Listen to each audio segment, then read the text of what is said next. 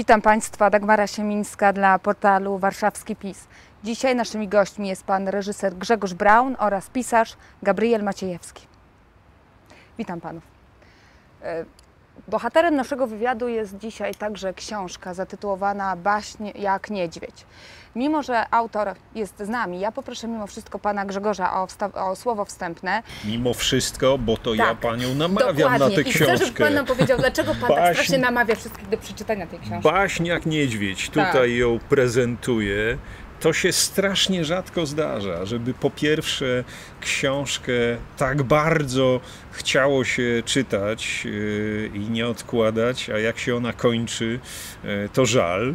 Yy, No a po drugie, żeby przeczytawszy tę książkę, tak się człowiek chciał podzielić z innymi tą dobrą nowiną, że jest taka książka. Gdzie tu jest dobra nowina? Dobra nowina jest w tym, że e, znalazł się pisarz rewizjonista, który poddał rewizjonistycznej, krytycznej lekturze nasze dzieje sprzed pół tysiąca lat. Sprzed pół tysiąca lat, bo to jest ta baśń jak niedźwiedź, tom drugi, uwaga, bo był tom pierwszy, może do tego, panie Gabrielu, wrócimy jeszcze za chwilę, ale to jest tom drugi. Yy, Ta baśń jak niedźwiedź to jest rewizjonistyczna wersja historii Polski i Europy. XV i XVI stulecia. E, Dlaczego tak głęboko? No dlatego, że to są początki miłe złego początki. To są początki nowoczesności. To jest y, ten y, przereklamowany tak we wszystkich naszych szkołach i podstawowych i, i, i wyższych y, słynny humanizm, który zdaniem pana Gabriela jest wynalazkiem z piekła rodem i PR-em, który miał służyć zalegendowaniu pewnych bardzo konkretnych projektów politycznych, które y, nie skończyły się dla Polski dobrze. Y, Może jeszcze nie wtedy, może, może nie w XVI wieku, może nie w epoce y, Jagiellonów, ale później te warianty gry wtedy opracowane zostały zastosowane skutecznie, tak żeby żeby korona polska upadła. Więc zachęcam wszystkich do lektury. Jeszcze na taką rzecz zwrócę uwagę, że Gabriel Maciejewski, tu obecny, e, znany e, użytkownikom blogosfery jako Koryllus, e, jest e, autorem już szeregu książek i, e, i to w tej baśni jak niedźwiedź e, czuć, że, e, że autor nie sylabizuje, tylko że już e, tych e, słów na papier, czy raczej na ekran komputera zdążył wstukać Na papier jakieś nieprawdopodobne setki tysięcy, jeśli nie miliony y, i czuje się, y, że ma nabitą rękę ten pisarz, no bo po prostu to jest interesujące, to jest pasjonujące, jak można w historii tak dawnej y, doszukać się takich aktualności. No bo przecież to też ważna sprawa, że tę książkę warto przeczytać nie dlatego, żeby się pogrążać w jakichś oderwanych od y, rzeczywistości aktualnej y, historiach baśniowych, tylko wbrew tytułowi to jest, to nie są, to nie są legendy, to są straszne realia. Takie, które korespondują z naszymi realiami, z realiami współczesnej gry politycznej. Pan Gabriel wyszukał nam w wieku XV i XVI punkty odniesienia, które, jak mniemam, pozwalają nam lepiej rozumieć to, co dzisiaj w trawie piszczy i to, co dzisiaj jest grane.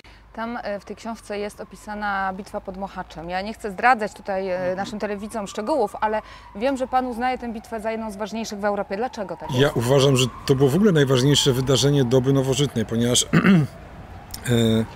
ja przyjąłem prosty klucz, kiedy pisałem tę książkę. Jeżeli są postaci i wydarzenia, o których się nie mówi, albo nie pisze, albo wzmiankuje się je tylko jednym zdaniem, to znaczy, że muszą być one szalenie ważne.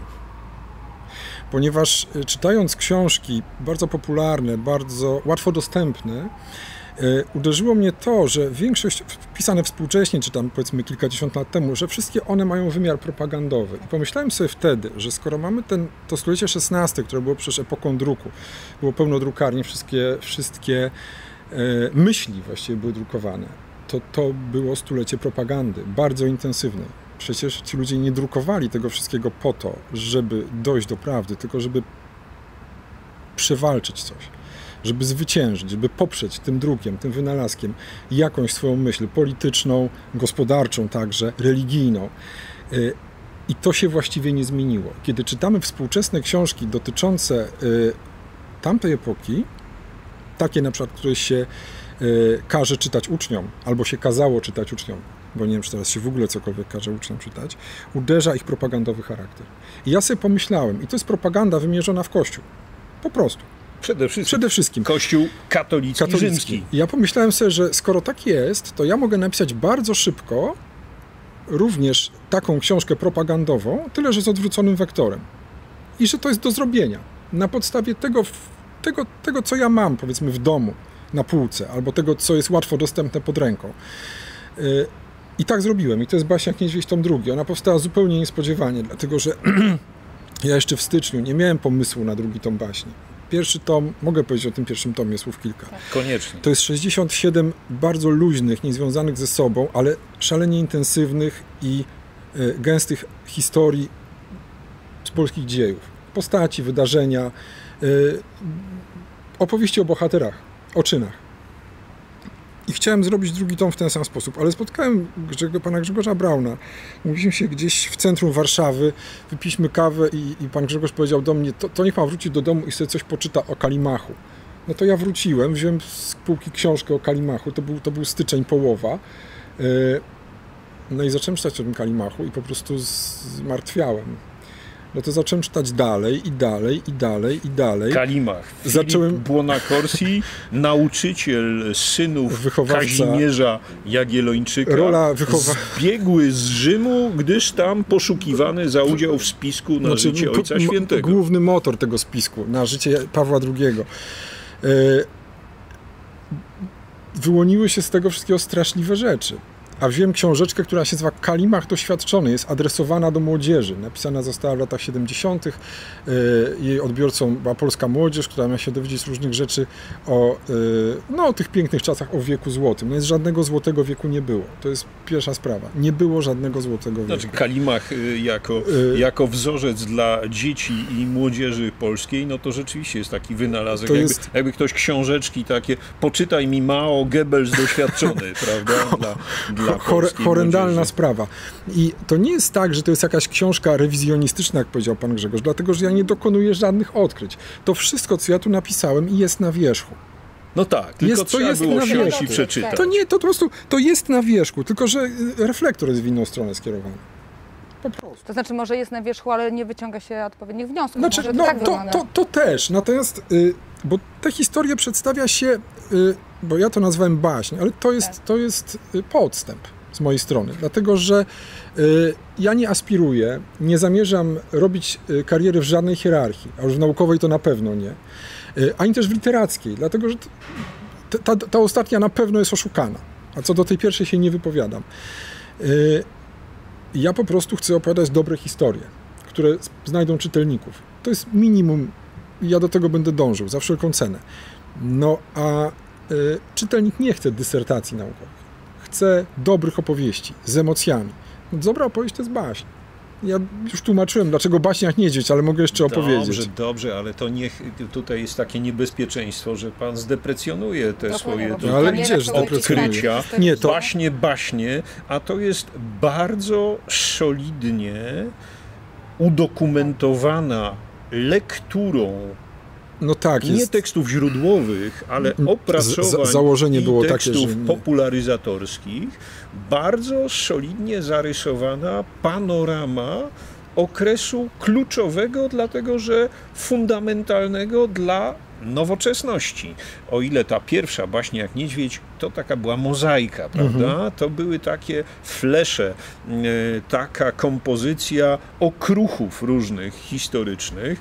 Tutaj pana zareklamuję, że nakład baśni jak niedźwiedź Nie tomu ma. pierwszego wyczerpany. Nie ma już, Ta nie książka ma, nie ma. zniknęła, więc kto chce przeczytać tom drugi, niech spieszy do księgarni. Też nie wszystkich, ale ja to powiem, bo panu nie wypada, pani może nie może. Ja mogę powiedzieć, że w Warszawie przy ulicy Noakowskiego w księgarni Ukryte Miasto i w księgarni Tarabuk y, przy y, Browarnej. ulicy Browarnej, niedaleko Biblioteki Uniwersyteckiej, można te książeczki dostać, y, bo one, proszę Państwa, nie zostały wydane przez y, żadną fundację, instytut Nie. państwowy, nie są dotowane przez ministerstwo. One mają szansę być dotowanymi przez państwa, jeśli je Państwo nabędziecie, y, do czego bardzo serdecznie zachęcam. Wróćmy do Mochacza jeszcze. Właśnie chciałam powiedzieć, Dobrze?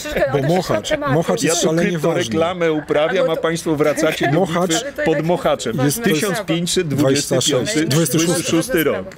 Y, Sierpień, 29 sierpnia, dzień ścięcia świętego Jana Chrzciciela. To jest najważniejsza data w historii nowożytnej, która jest przysłonięta innymi datami. Ja zawsze używam ten, te, tego klucza, że coś jest zasłonięte czymś. No więc odkrycie Ameryki zasłoniło Mochacz.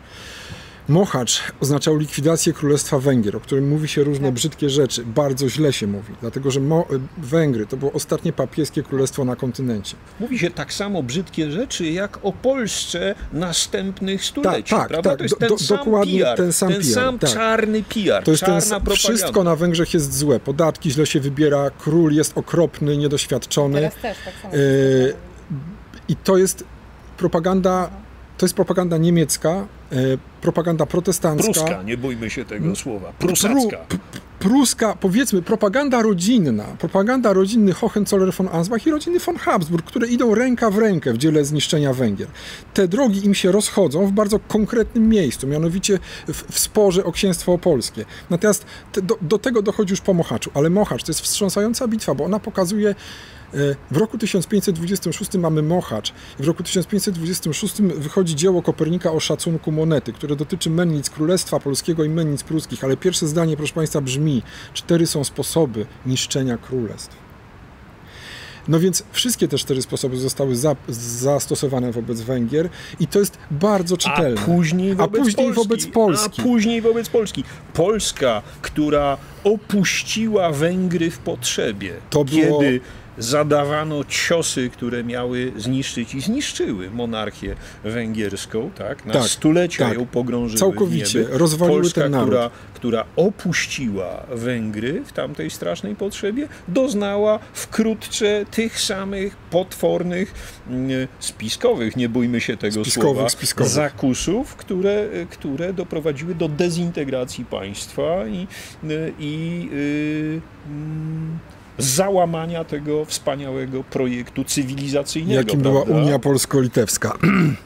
No więc No te, właśnie, z tą Unią Polsko-Litewską to pan, to pan jest y, y, od czasu Pawła Jasienicy, y, to pan y, y, y, rozwinął bardzo emocje antyjagiellońskie. Tak, ja I pan je eksponuje. tej je, dlatego że już bardzo pobieżny ogląd ty, tych, tych czasów no, wychodzi z tego, że dynastia jagiellońska, szczególnie jej dwaj ostatni przedstawiciele, miała bardzo ograniczone możliwości, jeżeli chodzi o orientację w tym, co się dzieje na kontynencie, w tym, co się dzieje w polityce. Oni dokonywali jakichś wyborów, ale były to Banda wybory matołków dziwne. na polskim tronie z pańskiego punktu No, no, widzenia. no tak? tak, tak. Ten słynny Zygmunt Stary. My tutaj siedzimy e, e, pod ścianą e, zamku Ujazdowskiego. Tutaj e, 4,5 stulecia temu odbyła się, niespełna, niespełna, odbyła się prapremiera odprawy posłów greckich Jana Kochanowskiego. U pana Gabriela Maciejewskiego Jan Kochanowski Tak, jest tak, omówiony pokrótce w rozdziale pod tytułem Hans z Czarnolasu y, i jest przedstawiony jako pudło rezonansowe kampanii propagandowej Hohenzollernów, którzy szykowali sobie, pan tak sugeruje, Tak. wejście na tron Tak, krakowski. tak, tak. Albrechta już, bo jego brat Georg nie żył. E, Albrecht Hohenzollern, poważna postać i poważny gracz.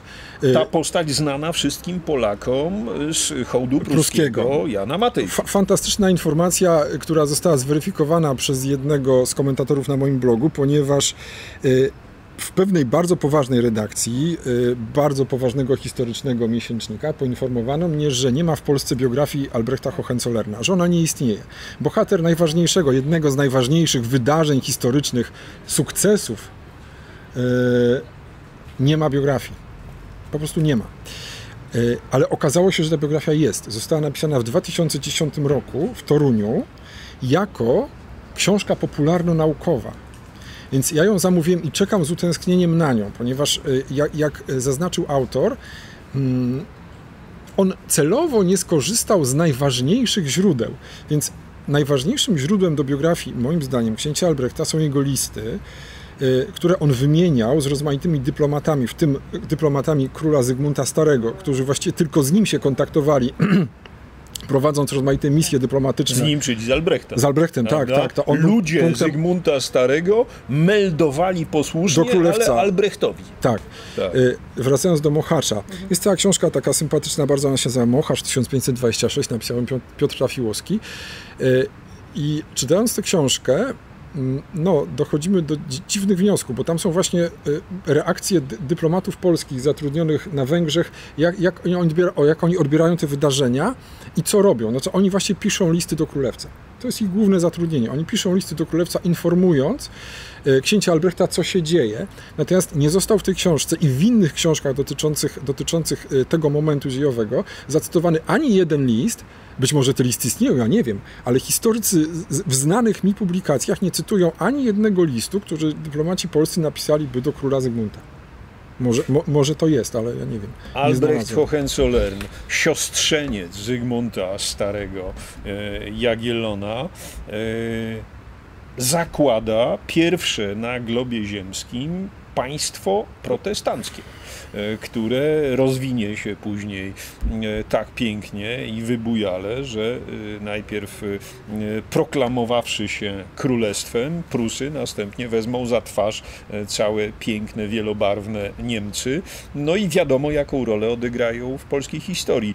A zatem Polacy na ten hołd pruski Jana Matejki patrzą jako na jakiś moment triumfu, gdy tymczasem pan Gabriel Maciejewski widzi w tym bodaj największą tragedię dziejową. Błogosławieństwo. 1525, bo przecież hołd pruski tak naprawdę otwiera drogę, do... która się kończy pod Mohaczem, pod Mohaczem. później. Otwiera prawda? drogę do likwidacji Węgier. Są takie trzy daty. W 1524 Georg Hohenzollern, bardzo ważna postać, brat Albrechta, e, spotkał się z Marcinem Lutrem w Wittenberdze. E, w 1525 był hołd pruski, a w 1526 Mochacz. E, ja to połączyłem Mm, myślę, że słusznie, y, bo hołd pruski to po prostu błogosławieństwo nowej dynastii. Mamy, mamy, mamy ten, ten hołd, mamy króla, który patrzy w przestrzeń i mamy tych trzech ludzi, którzy stoją, dwóch stoi, a jeden klęczy. Albert, jeden z nich to brat, Georg. Georg. Georg podnosi kapelusz do góry, bo on się napracował najwięcej. Chwila triumfu. Chwila triumfu, najważniejsza w jego życiu. Matejko to myślę doskonale rozumiał. Fryderyk Legnicki, ich szwagier, pochyla się ta, ta, z takim dziwnym, dziwnym uśmiechem, no a Albrecht, y, który te, y, y, był jakby no, główną postacią tego wydarzenia, klęczy.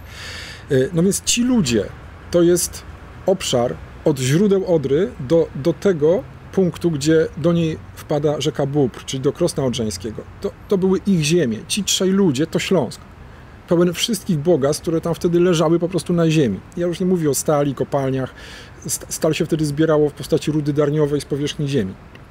Ja daję taką sugestię w tej książce, że również węgiel kamienny był tym towarem. No właśnie, bo w tej książce są silne wątki takie gospodarcze i to też jest... Wątki gospodarcze muszą tam być, tak. dlatego że mm, jest przedziwna maniera mówienia o historii przed stuleciem XVIII w taki sposób mityczny, bajkowy. No więc ja, dając tej książce tytuł Baśń, odwracam to wszystko, odwracam wektor, dlatego że nie sposób uwierzyć w to, że nie było przemysłu przed XVIII wiekiem. Nie sposób uwierzyć w to, że ludzie, y, no choć, chociażby jak patrzymy na, na malarstwo tamtego czasu i widzimy konfekcję, w jaką ci ludzie się ubierali, to jest niemożliwe, żeby taka ilość tych strojów była produkowana przez jakieś armie y, ludzi zatrudnionych przy, przy krosnach. To... No i właśnie armię, prawda? To A cho chociażby wymaga... armię to wymaga bardzo y, poważnych przedsięwzięć gospodarczych, produkcja żeby stali, na nogi. Produkcja stali, produkcja cegieł chociażby na te wszystkie olbrzymie budowle, które wtedy powstawały.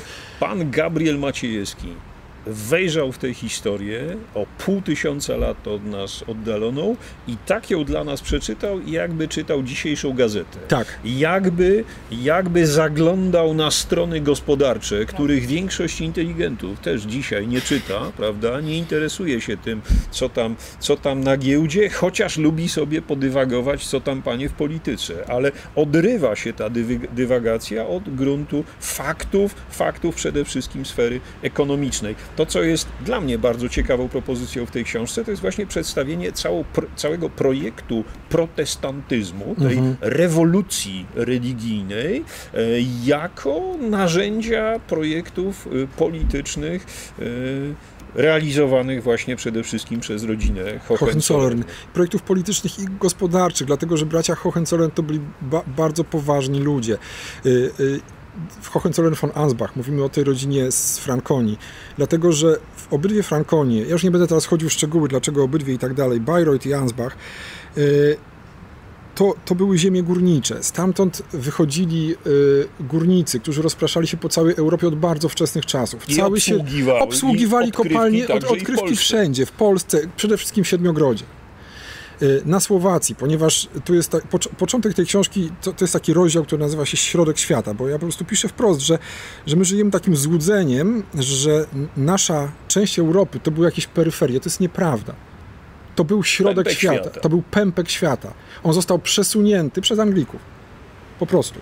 Natomiast to był... Anglików, którzy wysyłają tych swoich okultystów, magików, Tak. jakichś chiromantów, którzy wedle pańskiej lektury tej historii są znowu emisariuszami, nie bójmy się tego słowa, agentami Tak. protestanckiej Anglii, która szuka sposobu na to, żeby zdezintegrować ciągle jeszcze na poły monolitycznie katolicki kontynent, prawda? To jedno. I to są ci nasłani y, tam z tym magicznym lustrem John Dee na dworze jeszcze Stefana Batorego, prawda? To są te seanse spirytystyczne dla Zygmunta Augusta. Straszne jakiej rzeczy. Notabene właśnie to ciekawe, ciekawe spostrzeżenie. Humanizm, który jest dziatwie szkolnej, reklamowany, zalecany jako taki pierwszy wiek rozumu po, po wiekach ciemnych, Tak. to jest w istocie Nie, ta- tam są czary przyklejone. epoka przesądu, triumfu przesądu nad,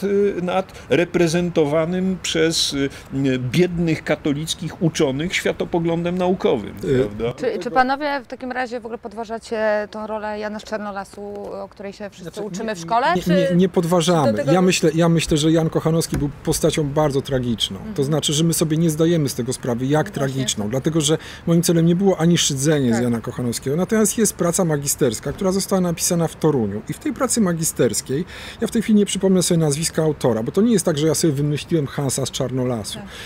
Y, Albrecht miał y, licznych współpracowników, nazwijmy to tak, których opłacał. Miał na to pieniądze. idiotów, Po, pożytecznych idiotów. Ułożył, a oni pisali a oni pisali, co im satyra. kazał. Tak.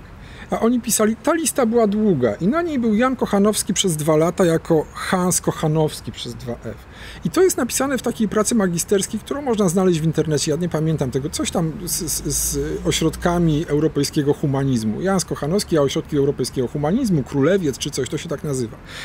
Y, No i ten autor, młody człowiek, sugeruje, że, że, że tenże Jans, y, Ha- Hans Kochanowski, który tam, tam służył u Albrechta we dwa konie, jak on jest zapisany, we dwa konie, wykonywał dla niego, y, dla księcia Albrechta Hohenzollerna, bliżej nieokreślone prace intelektualne. No więc to, to jest ta ucieczka, w którą uczeni, też młodzi i starzy, ba, bardzo chętnie, to jest ten kierunek, w którym oni biegną, że, że prace intelektualne, no to czy konie też wykonywały prace intelektualne, czy tylko Myślę, sam że Hans? książęta bardzo rzadko y, płacą za prace Intelektualne. intelektualne w czystej postaci. prawda? Wystarczy spojrzeć na portret Albrechta, żeby się przekonać, że o żadnych pracach intelektualnych Czego nie mogło tego być. Janka z Czarnolasu mowy. musiał chcieć, bardziej Eee, kompletnego. Znaczy, ja uważam, że y, to była pierwsza próba, ponieważ o czym jest ta książka jeszcze? To jest książka o tym, że przełom stuleci XV-XVI i później, to jest marginalizacja stopniowa Akademii Krakowskiej, na rzecz uniwersytetów niemieckich położonych przy granicach, czyli najpierw Przez podkupienie elit. przez podkupienie elit. Prawda? Na początku przy frankfurckiego, a potem królewieckiego, który powstaje w 1544, o ile pamiętam. Y, No i tam się zapisują sami najważniejsi ludzie. Sami najbardziej postępowi. Najbardziej postępowi, najbardziej, y, najbardziej wpływowi. Zborowcy, kochanowcy, oni wszyscy studiują na tych, na tych uczelniach. Wszystkie te lutry, kalwiny, straszni ludzie. Wyrodne syny z ojczyzny matki chcą Tak. szarpać płatki. Tak jest. E, Syn Mikołaja Reja był, był e, najwybitniejszym studentem Albertyny Królewieckiej, a sam Mikołaj Rej gościł tam wielokrotnie. E, Ale wróćmy do Kochanowskiego. E, Tak się jakoś składa, że te jego biografie są pełne rozmaitych niedomówień. To nawet nie chodzi o to, co, co ja tu napisałem, powtarzając za tym chłopcem z, Tarnowa, e, z, Torunia, który, który napisał tę swoją pracę magisterską. Tam jest bardzo mało informacji o życiu Jana Kochanowskiego, natomiast bardzo wiele y, jest o, o tej jego poezji.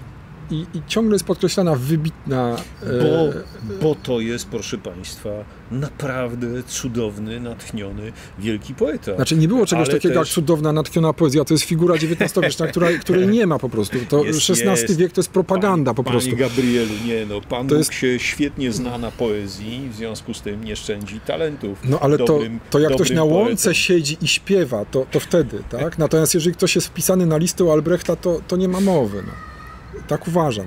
Wszyscy wielcy gangsterzy potrzebują dobrych pisarzy, żeby robili im e, ich propagandę i taką propagandę, jak odkrywa e, w tekście satyr Jana Kochanowskiego. Ja tylko początek tego E, tekstu taką, omawiam. taką propagandę na rzecz przyszłej intronizacji Hohenzollernów na stolicę krakowską robi Hans z Czarnolasu. Musimy tak? pamiętać- Tak utrzymuje pan Gabriel. że, że jemu umarły dwie córki. O tej pierwszej, o Urszuli się mówi, natomiast o Hannie jakoś nic.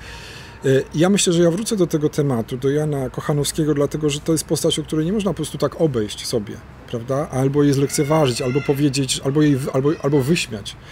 Myślę, że jakoś, znaczy ja nie wiem, czy ja w ogóle mogę to zrobić, natomiast uważam, że ludzie, którzy są bardziej ode mnie kompetentni w tych sprawach, powinni po prostu oprzytomnieć i y, powiedzieć, jak to wszystko jest naprawdę. Książka Było. pana Gabriela pokazuje y, na wybranych, spektakularnych bardzo przykładach, jak bardzo schizofreniczna jest lektura własnej historii, jaką stosują Polacy.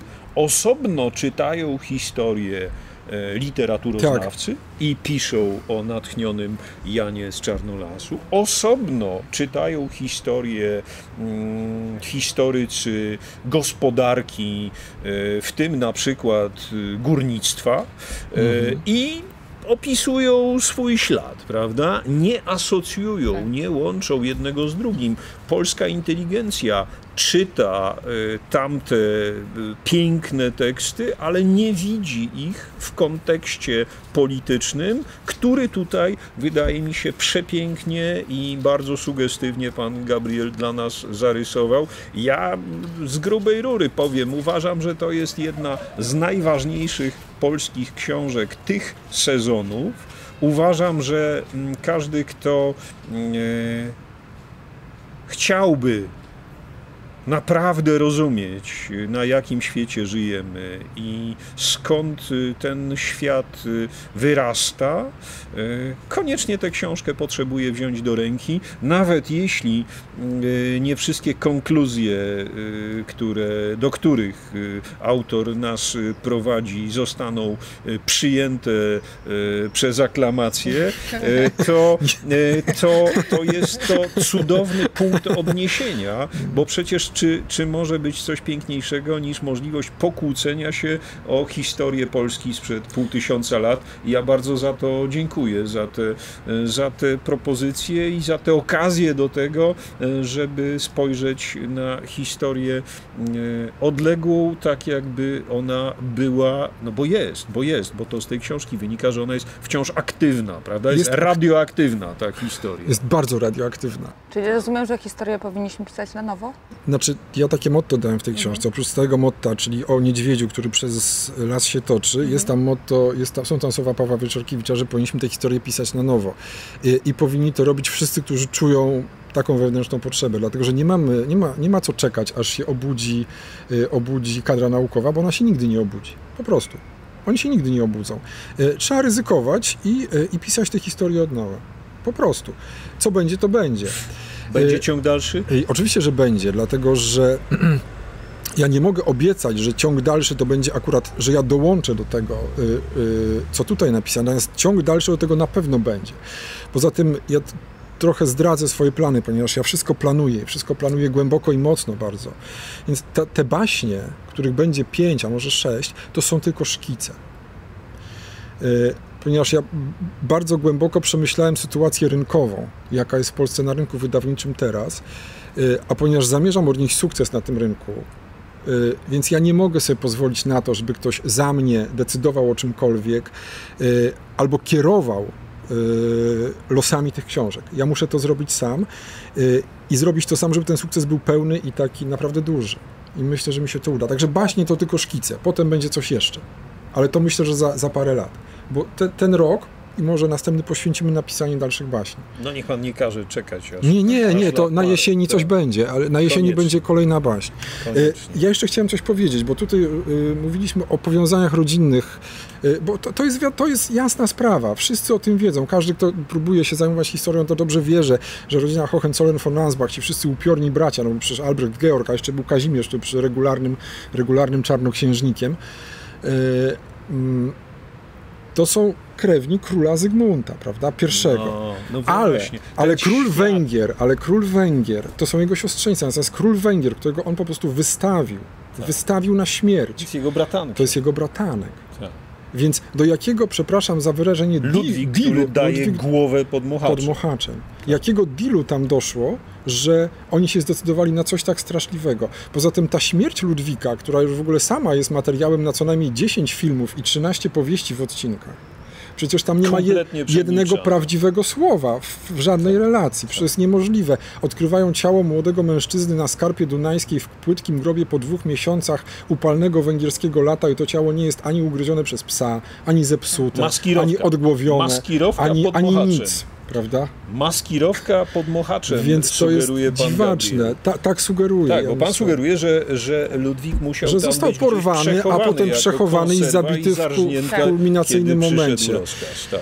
Y, i że dokonał tego Georg Hohenzollern, który jest najważniejszą postacią tej książki, y, bo i, ja dużo rzeczy, y, dużo rzeczy, które ja robię, wynika z takich intuicji, które y, ja raczej mnie nie zawodzą. Ja spojrzałem na, na portret Georga Hohenzollerna, on jest w tej książce, ja spojrzałem na portret tego pana i ja już wiedziałem, że, że to jest ta droga, którą powinienem kroczyć, bo wystarczy, bo on miał, o, o, na niego mówiono, on przeszedł na luteranizm i mówiono na niego Georg der Fromme, Jerzy Pobożny.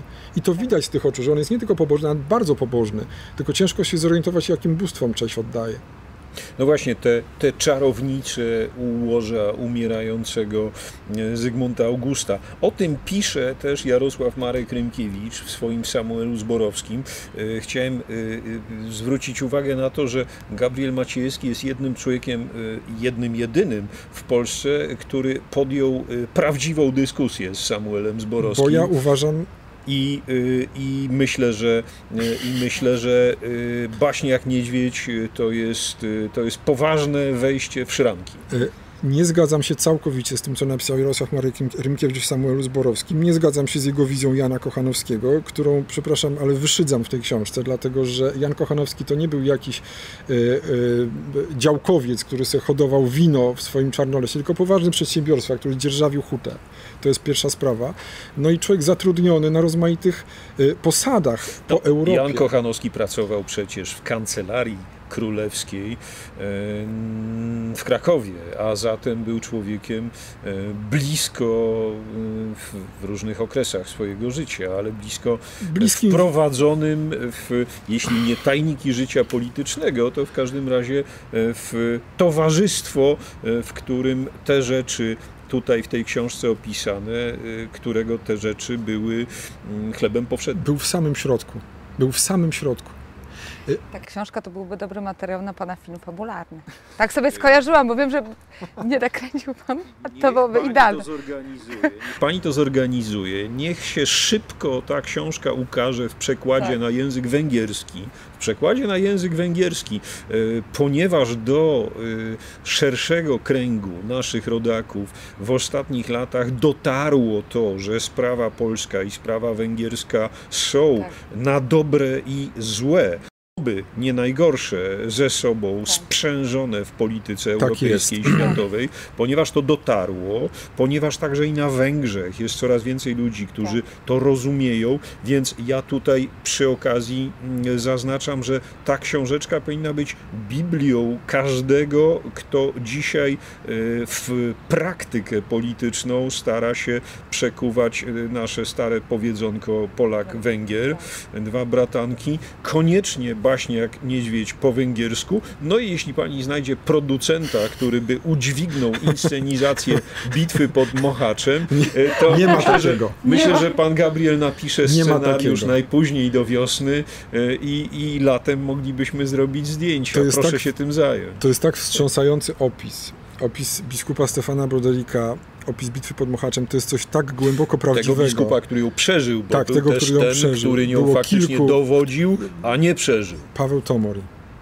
Y, Chciałbym, żebyśmy jeszcze porozmawiali o alchemii, ponieważ i o czarach, bo to jest szalenie ważna rzecz. Y, No właśnie w tym, w tym wieku, w tym wieku postępu, który był w istocie epoką obskurantyzmu. Y, Czarnoksięstwo i alchemia według mnie nie były tym, za co się je dzisiaj uważa, ponieważ mm, y, y, alchemik to nie był staruszek, który siedzi w piwnicy i próbuje wydobyć y, z, z jakichś dziwnych substancji tynkurę służącą do, do przemiany ołowiu w złoto. Alchemik, proszę Państwa, to menedżer. To menedżer od handlu metalami, po prostu. Dlatego, że całe to stulecie, od momentu, kiedy mamy do czynienia z nowoczesnym kredytem, a mamy z nim do czynienia bardzo wcześnie, cały czas ktoś próbuje przejąć kontrolę nad kruszcem. O tym, jest ta, o tym jest ta książka, o tym jest polityka, o tym jest historia gospodarcza. Cały czas ktoś próbuje przejąć kontrolę nad... I wojna. Wojna o surowce Tak. naturalne. Y, I to się próbuje zorganizować rozmaitymi metodami i do tego służą alchemicy. Tak się składa, że tych alchemików w pewnym momencie, bo nie zawsze, najwięcej rodzi Wielka Brytania. Tak. Powiedzmy jakoś, Anglia, która jakoś zastanawiająco licznie trafiają oni do Krakowa. do środkowej Europy, prawda? I to jest, to jest taki obraz polityczny, dlatego że ja potem, kiedy będę, bo ja już to mo- mogę powiedzieć, kiedy, kiedy zacząłem czytać o wojnie 30-letniej, o tych, o tych czasach późniejszych, no to uderzyło mnie to, że y, wektor polityki brytyjskiej jest skierowany tak, żeby unieważnić gospodarczo Europę Środkową. Przez długi czas tak jest. Po prostu unieważnić gospodarczo Europę Środkową. Ja tę książkę zaplanowałem bardzo ambitnie, bo to jest tylko tak naprawdę pół pomysłu. Bo ja, jak rozmawialiśmy, to potem jak zacząłem czytać te wszystkie książki, y, które są tutaj w, umieszczone w bibliografii, pomyślałem, że napiszę książkę, która się będzie zaczynała y, zabójstwem Andrzeja Tęczyńskiego w 1461, a kończyła budową Huty Katowice. Ale, ale To będzie baśniek Niedźwiedź, tom 15. takiej sztuki nie dokonałem i musiałem to skończyć wcześniej, ale zaczyna się Andrzejem Tęczyńskim i kończy się Andrzejem Tęczyńskim tylko innym. Y, Dlaczego? Piękna rzecz, piękny szczegół, piękna intryga polityczna, której y, się na nasz użytek pan Gabriel y, doskrobuje, dogrzebuje pod grubymi warstwami takiego lakieru, który na tę historię został położony przez historiografię, która przyjmowała mm, jako prawdy y, to, co było najwyraźniej mm, chwytem propagandowym. Jakąś aranżacją, Jakąś maskirowką. maskirowką. 15-16 wieczna maskirowka. Y, Alchemicy to menedżerowie. To bardzo poważni ludzie, którzy mają bardzo poważne zadania. Y, Myślę, że do y, udzielania kredytów włącznie, do udzielania kredytów wielkim instytucjom z królestwami, z księstwami, z organizacjami po prostu o charakterze wielkoobszarowym włącznie. Y, To jest taka sugestia, bo dokładnie nie wiem, czy tak było. Przecież to nie jest, nie jest praca naukowa, tylko baśń jak niedźwiedź. Y, Niech pan teraz powie, co to ten niedźwiedź w tytule. Niech pan Niedźwiedź, to bo- wyjaśni, bo, bo- się wszyscy dziwią na pewno. To Niech się, zaczęło, to się zaczęło bardzo y, poetycko, bo tak jak mówię, ja obserwuję to, co się dzieje na rynku, żeby książka zaistniała na rynku, musi być dobry tytuł. Żeby był dobry tytuł, on, on musi być po prostu miażdżący. Baśń jak niedźwiedź. Jest taki wiersz Tadeusza Nowaka, który do tego pierwszego tomu bardzo pasował, natomiast e, siłą rzeczy on będzie musiał pasować do innych. Choćby nawet nie pasował, No, to, to już będzie jest pasował. znak markowy. To już jest firma. E, Tadeusz Nowak, wybitny i zapomniany polski poeta, napisał taki wiersz Krajobraz z wilgą i ludzie i tam jest taka fraza Światło szeleści, zmawiają się liście na baśń, co lasem jak niedźwiedź się toczy. Ja nie wiem, czy w języku polskim, przynajmniej w stuleciu XX, zostało napisane coś lepszego, coś z większym ładunkiem emocji, coś, coś głębszego niż, niż właśnie ta fraza. Ja pomyślałem sobie, że to, to jest właśnie ten tytuł. Takie frazy, panie Gabrielu, Hans z Czarnolasu sporządził dla nas i sporządzał hurtowo 450 lat temu, plus minus. Napisał na przykład Jan z Czarnolasu, Jan Kochanowski, napisał y, zdanie nieśmiertelne w tejże, e, w tejże odprawie posłów greckich, której prapremierę tutaj urządził e, dla uczczenia zaślubin e, hetmana kanclerza Zamojskiego. E, Taka fraza e, ręka umywa rękę, e, noga nogę wspiera. I jeżeli 4,5 stulecia temu e, tak e, czytelnie e, definiował mechanizm gry politycznej ten poeta, jeżeli to się do tego stopnia nie zestarzało, no to myślę, że temu też zawdzięczamy ten fenomen, że pańska książka, która sięga do spraw odległych i zamierzchłych, zdaje się tak bardzo aktualna, zdaje się tak przenikliwie prowadzić do samego jądra gry politycznej, która się dzisiaj o Polskę toczy. Ja myślę, jak że niedźwiedź. ja myślę, ja myślę, że e, e, nawet zrobiliśmy poważny krok do tyłu, jeżeli chodzi o tak zwaną dojrzałość polityczną. Świadomość, prawda? Tak, świadomość i dojrzałość polityczną. Infantylizm z wyboru. Infantylizm z wyboru, bo e, skuteczność polityczna i dojrzałość właśnie tych osób, które są bohaterami tej książki oraz ich zdecydowanie polityczne i plany są wstrząsające. Bracia Hohenzollern to są, Wizjonerzy. to są wizjonerzy, to są ludzie, Wizjonerzy. którzy, oni mają sekundy wahania. Tak. Tam nie ma jednego słabego momentu, oni przegrywają, ale, ta, ale, ale z kim? Przegrywają, no, przegrywają doraźnie, ale potem, No potem tak, Boże natomiast zdrowie. w tym momencie to jest, to jest koniec, ale yy, no nie taki ostateczny. Natomiast dojrzałość polityczna tych ludzi jest wstrząsająca. Ja bym sobie życzył dzisiaj w polityce polskiej ludzi, którzy by mieli choć połowę tego temperamentu i tej wizji, k- którą mieli, mieli ci siostrzeńcy króla Zygmunta, Zygmunta I. Co byśmy o nich złego nie myśleli. Bo to byli bardzo źli ludzie.